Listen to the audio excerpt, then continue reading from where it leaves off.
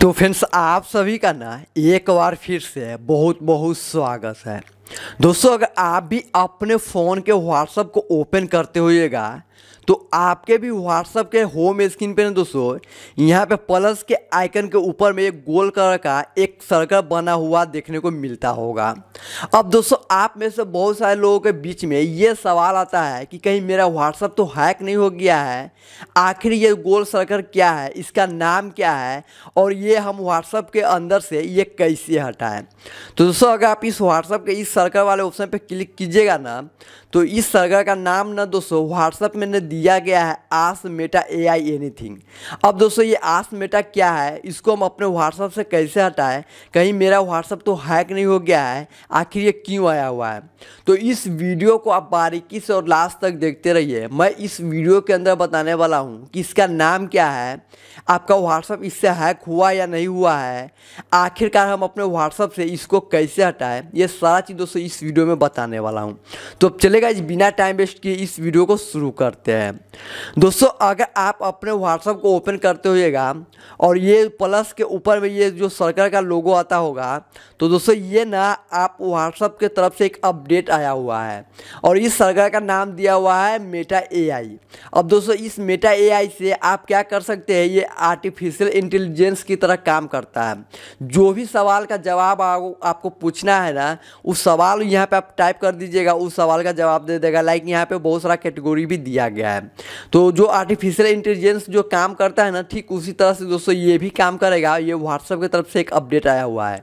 इससे ना आपका व्हाट्सअप हैक नहीं हुआ है, बल्कि इससे ना आपका व्हाट्सअप और ज़्यादा सिक्योर ही हो गया है। जहाँ ले, अगर आप कोई भी सवाल का जवाब पूछेगा तो ये बताएगा, ये मेटा एआई है। ठीक है, अब दोस्तों हम बात करते हैं कि अगर बहुत सारे लोग बोलते हैं कि इसको हम कैसे हटाएँ अपने व्हाट्सअप से तो इसको हटाना चाहते हैं ना दोस्तों तो उसके लिए ना आपको दो सेटिंग करना होगा। सबसे पहला सेटिंग क्या करना होगा दोस्तों, आपको बैक आ जाना होगा, अपने मोबाइल का प्ले स्टोर को ओपन करना होगा। प्ले स्टोर ओपन करने के बाद दोस्तों, आपको प्ले स्टोर के सिटी में चले जाना होगा। सिटी में जाने के बाद दोस्तों, अब आपको क्या करना होगा, यहाँ पे जनरल सिटी में जाना होगा। और यहाँ पे ना दोस्तों, आपको जनरल सेटिंग में नहीं, आपको यहाँ पे नेटवर्क फ्रीक्वेंस में जाना होगा। ऑटो अपडेट ऐप है जिस पर आपको क्लिक करना होगा। यहाँ पे ना दोस्तों, आपको ऊपर वाले ऑप्शन पे क्लिक कर देना होगा। देन इतना पर करने के बाद आपको बैक आना होगा बैक आ जाना होगा। अब आपको अपने फ़ोन के ना व्हाट्सअप को ओपन करना होगा। जब आप अपने फ़ोन का व्हाट्सअप ओपन कर लीजिए तो थ्री लाइन पे टच करना होगा। थ्री लाइन पे टच करना दोस्तों आप सेटिंग में चले जाइएगा व्हाट्सअप के। व्हाट्सअप के सेटिंग में जाने दोस्तों, यहाँ पे चैट का ऑप्शन मिलेगा जिस पर आपको क्लिक करना है।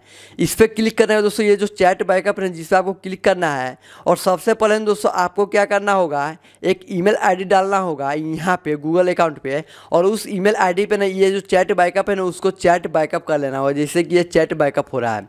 अब, दोस्तों, ये चैट बैकअप हो जाएगा।